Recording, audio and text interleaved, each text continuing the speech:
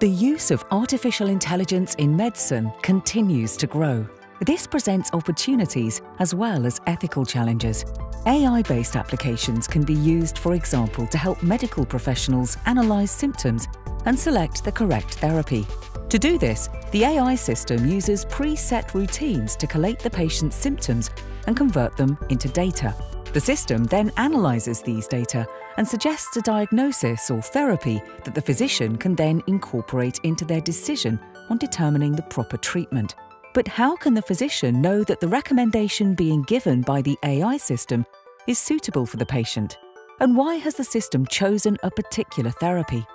To reach a decision that is ethical and in the best interests of the patient, the physician must first be able to understand the processes that led to the recommendation.